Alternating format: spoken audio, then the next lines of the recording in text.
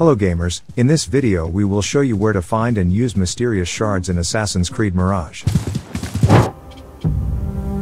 Mysterious shards can be found by looting or pickpocketing Elite Order members' bodies. The Fa'abin member is near.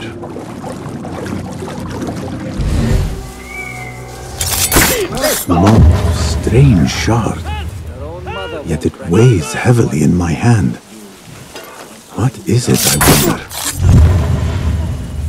Guide me, To use them you need to find this place, it can be tracked in one of the early Nehal's investigation missions.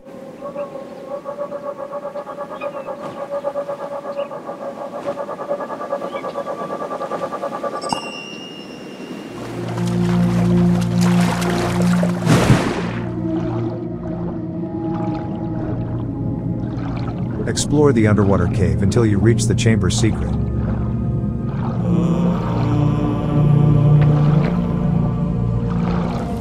I wonder where this leads.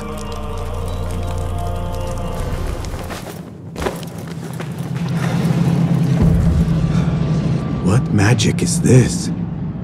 Surely there is a way to diminish it. Here you can use the shards to unlock a dagger, a sword, and a costume each requiring 2, 3, and 5 shards respectively.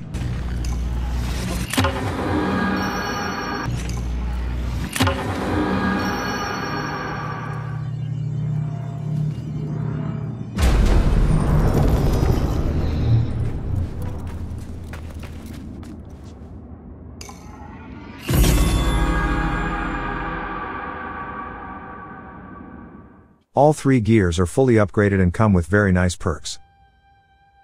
That's all for this video, do not forget to like and subscribe for more gaming content.